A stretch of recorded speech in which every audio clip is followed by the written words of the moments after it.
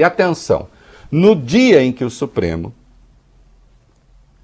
toma essa decisão, porque praticamente está tomada, o Bolsonaro anuncia um troço, vamos aí para o vídeo dos de máscara, ele anuncia um troço que ele diz que o Queiroga vai fazer, que contraria tudo o que dizem os epidemiologistas nesta fase de vacinação do Brasil. Solta aí o que ele disse. Acabei de conversar com um tal de Queiroga, não sei se vocês sabem quem é, né? nosso ministro da Saúde. E ele vai ultimar um, um parecer visando a desobrigar o uso de máscara por parte daqueles que estejam vacinados ou que já foram contaminados. Para tirar essa esse símbolo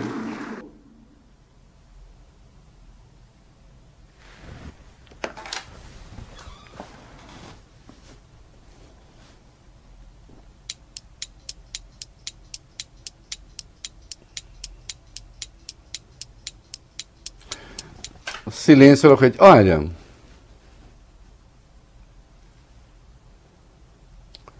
O Bolsonaro não sabe a vontade que eu tenho de nunca mais tocar no nome dele. Ele nem imagina. Por mim, não seria presidente da República, não falaria dele. Certamente estaria falando de outro. E aí diriam: pô, só fala do cara. Pô, só mete o pau no cara. É, porque o papel do jornalismo, falei ontem aqui, né, um poema do Zé Régio. Essa é crítico mesmo.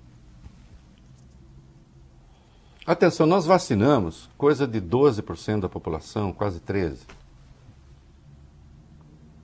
O vírus para de circular e de contaminar ativamente quando você vacina coisa de 60% a 70%. 70% é o consenso. Então você obtém a chamada imunidade coletiva. Porque, atenção, uma pessoa vacinada, ela pode carregar o vírus, ela pode não pegar o vírus, mas ela pode carregar o vírus e transmitir a doença. Bem como uma pessoa que já teve a doença.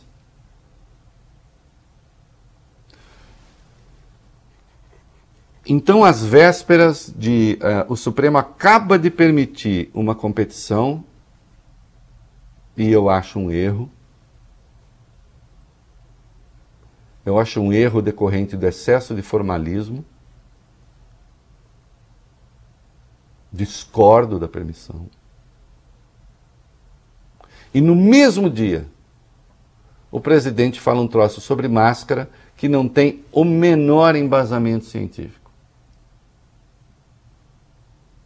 E ainda diz que o ministro da Saúde é que vai determinar isso ministro da Saúde que vocês viram ali com um certo ar arrogante, ele chama um certo Queiroga, já ouviram falar disso?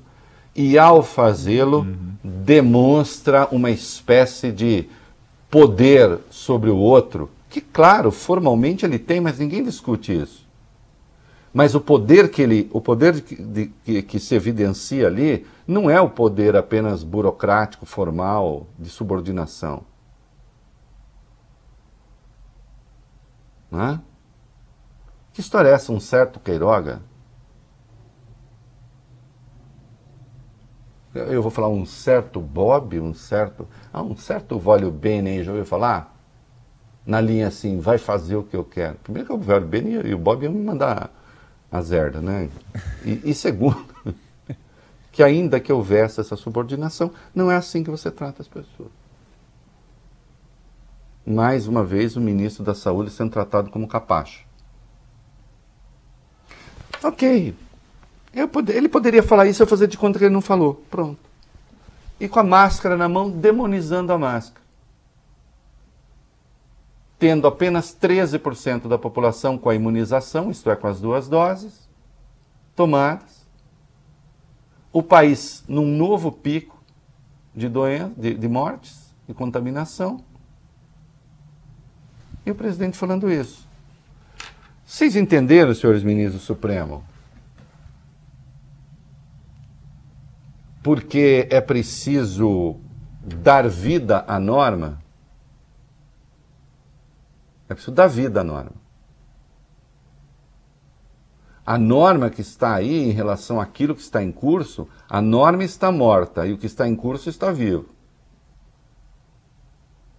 E o que está vivo é o mascaramento, sem trocadilho com a outra máscara, da norma. Então ele precisaria ser parado. Tá dito, vamos comercial.